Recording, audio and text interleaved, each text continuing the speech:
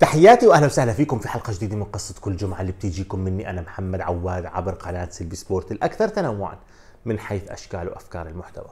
بنواصل بقصص الجمعة اللي دائما بذكركم إنكم تروحوا تشوفوا السلسلات والحلقات الكثير اللي طرحناها حتى الآن في قائمة تشغيل مخصصة اسمها قصة الجمعة وتشوفوا فيها القصص اللي بتناسبكم. قصة الجمعة اليوم حنحاول نخففها لأنه الحلقتين الماضيات كانوا ثقال. نالوا إشادتكم ونالوا إعجابكم وفي حلقتين عم بحضر لهم كمان قويات جدا وفيهم ضيوف خاصين جدا. فحبينا ناخذ راحة بما أنه خلصت الجولة الدولية وداخلين على مباريات قوية ودوري أبطال أوروبا. خلوا حلقتنا اليوم تكون خفيفة خلوها تكون حول رقصة ندم عليها اللي رقصها. عكس البرازيل لما رقصت بال 94 والثلاثي الشهير عكس رقصة روجيه ميلا الشهيرة في كأس العالم 90 هدول الناس رقصاتهم صارت تاريخية لكن في شخص أصبحت رقصته ندم حتى اليوم. مش لأنه رقص بل لأنه اختار التوقيت الغلط للرقص. حندخل بتفاصيل هذه القصة لكن قبل ما أدخل فيها دائما بدي أذكركم تتركوا لايك على الفيديو لأنه هذا بيساعدني أوصل لكم الفيديوهات الجديدة اللي حطرحها لاحقا دائما. نروح على كأس الاتحاد الإنجليزي موسم 2015-2016 موسم العجائب موسم تتويج ليستر سيتي بلقب الدوري الإنجليزي. كان كريستال بالاس عم بيلعب الدوري عم يبدأ بشكل رائع لمستوى إنه هذا الفريق وصل ال Boxing Day وخلصه ب 26 ديسمبر يعني 26 12 2015 وهو في المركز الخامس وبفارق نقطتين بس عن توتنهام صاحب المركز الرابع الجميع عم بشيد. بالمدرب ألان باردو بروعة كريستال بالاس والتحول من فريق زجاجي لفريق حديدي. لكن أول ما بدأ عام 2016 نحس ونزل على الفريق كآبة وسيطرت عليه لمستوى الفريق اللي كان خامس قبل نهاية السنة بتاعت 2015 أنهى الموسم في نصف 2016 وهو في المركز 15 وبفارق خمس نقاط فقط عن الهبوط. لأنه في 2016 كريستال بالاس لعب 19 مباراة. في البريمير ليج. فاز مباراتين بس وخسر 13 وتعادل أربعة فقط. يعني نسبة انتصاراته في عام 2016 بالدوري 11% فقط. لكن الوضع كان مختلف تماما بكأس الاتحاد الإنجليزي. الفريق أسد في الاتحاد الإنجليزي عكس وضعه في البريمير ليج ب 2016 لعب ست مباريات نحو المباراة النهائية كلها في عام 2016 في كأس الاتحاد الإنجليزي وكلهم فازهم.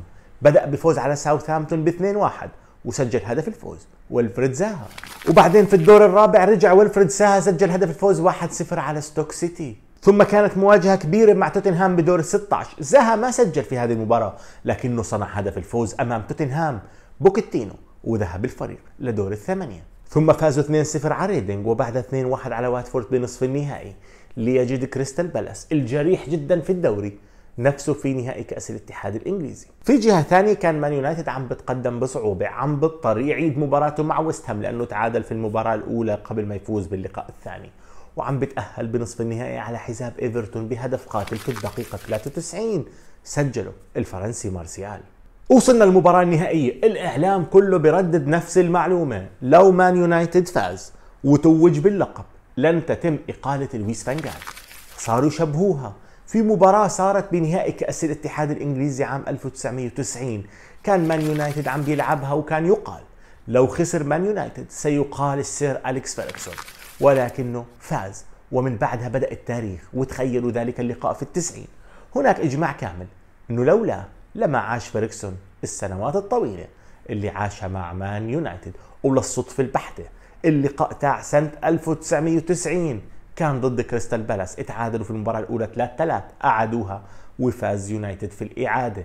الآن يونايتد عم بيواجه كريستال بالاس في مباراة بلشوا يشبهوها مباراة فيركسون يا لويس فانجال الآن باردو مدرب كريستال بالاس صرح قبل اللقاء قال أنا أحب لويس فانجال وأشعر إنه هذا اللقاء بالنسبة له مثل لقاء فيركسون ضدي لما كنت لاعب مع كريستال بالاس في نهائي 1990 الشوط الأول هذه كثير ما فيش فيه كثير فرص. مان يونايتد سدد 10 تسديدات مقابل ثلاثة لكريستال بالاس لكن من العشر تسديدات ليونايتد واحدة بس بين القائمين.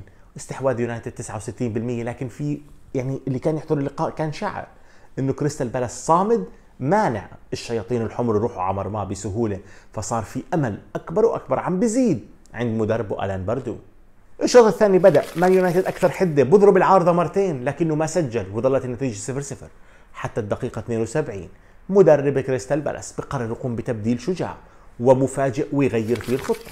بدخل لاعب وسط اسمه جيسون بونشون بدل ظهير أيمن اسمه وورد وبغير الخطة بذلك.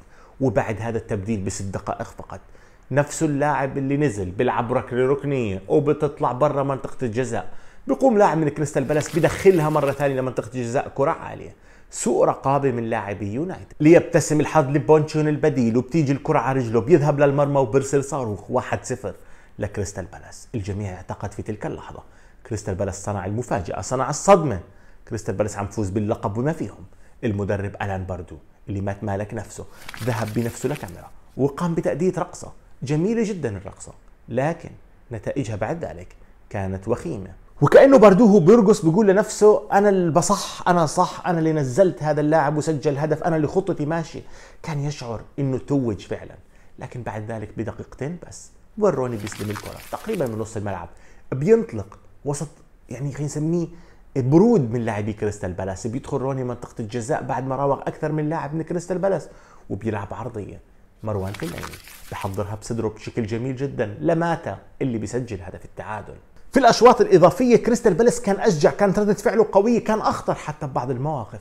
وابتسم له الحظ إنه انطرد سمولينج مدافع مان يونايتد فأصبح عنده نقص عددي. اتشجع كريستال بالاس وشعر إنه المباراة قربت. ولكن من كرة طائشة منطقة الجزاء لينغارد بيصطادها بتسديدة رائعة جميلة نحو المرمى. هدف الفوز لمان يونايتد. هدف التتويج لمان يونايتد اللي حول الرقصة الجميلة تاعت ألان باردو إلى فضيحة.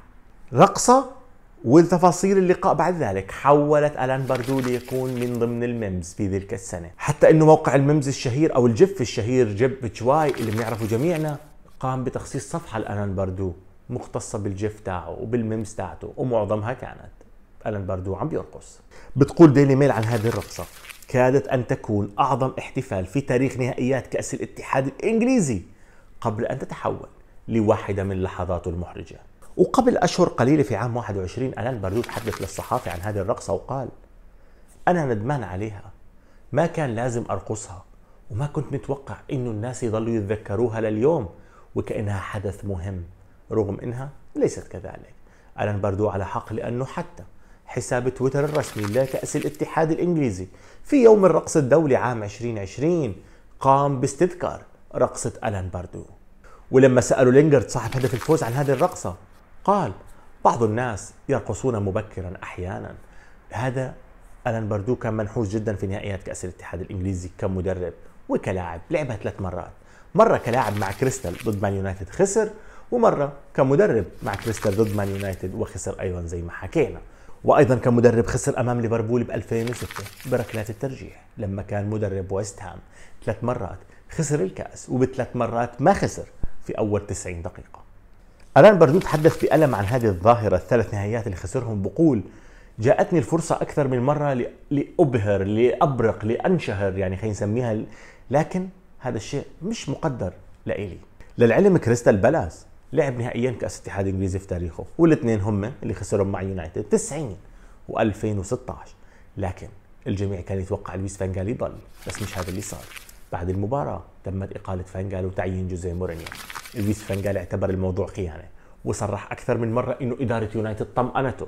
فوز بالكأس وحضر لك معنا ولكنه فاز بالكأس وما ظل معهم. اعتبرها كثير ناس نوع من خيانة إدارة يونايتد. لا لويس فانجال إنه فيرجسون وحيد في هذا النادي بياخذ فرصة بعد بطولة كأس. أما أنت الآن في يونايتد الكبير في يونايتد اللي صنعوا فيرجسون ما بصير نكافئك عشان بطولة كأس. قصة ألان باردو بتوريك قديش إنه لحظة الفرحة لحظة الانتصار أو الاعتقاد إنك انتصرت كما يقولون هي أخطر لحظة على المنتصر. لازم ضل يركز. ألان باردو بيقول أنا ربما غفلت قليلا. كان لازم اللاعبين يرتكبوا فول على وين روني لكن لحظة الفرح هذه اللي انتشرت جعلت اللاعبين يخلوا روني يذهب لمنطقة الجزاء بسهولة. هناك من قال بعد اللقاء إنه هذه المبالغة بالفرحة. هي سبب فقدان التركيز لدقائق عند اللاعبين. basic كرة القدم لما لاعب يندفع اللاعب الأول الثاني الثالث لازم يعمل فاول. مش هذا اللي صار. روني مر منهم واحد ورا واحد. وهناك من يعتقد أيضا أنه الإحراج اللي أحاط بألان باردو الكبير جدا بعد هذه المباراة حطمته نفسيا فخلت بداية الموسم اللي بعده سيئة للغاية وانتهت بإقالته قبل ما ينتهي عام 2016 اللي هو بالتأكيد أسوأ أعوام ألان باردو. قصة خفيفة حبينا تكون قصة الجمعة تابعتنا اليوم. برجع أذكركم لو سمحتوا لايك على الفيديو للي حابين يرجعوا يشوفوا مقاطع تانية مني دائما تطلع لهم في اليوتيوب. نوصل هون لنهاية هاي الحلقة. كنت معكم أنا محمد عواد موجود فيسبوك تويتر إنستغرام. والسلام عليكم ورحمة الله.